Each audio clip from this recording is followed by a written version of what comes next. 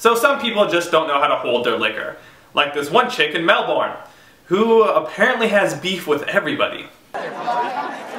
Oh, that's gonna hurt.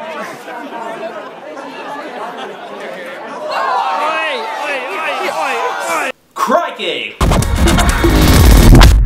So near the Makybe Diva statue in Melbourne, Australia, this drunk girl was hitting anybody who got near her, including the guy who didn't want to catch her when she was falling down.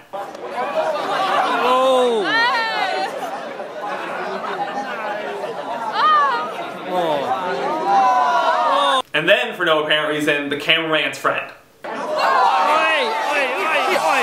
It seems to me that this person got so drunk that her friends just left her there. Or she got really drunk because she has no friends and is taking out all her frustration on other people. People need to understand the limit. If this is this girl's first time making an ass of herself, hopefully she can look back and never drink again. Unfortunately, this is never the case. She'll probably just go out there and do this again someday. Right, drunk girl?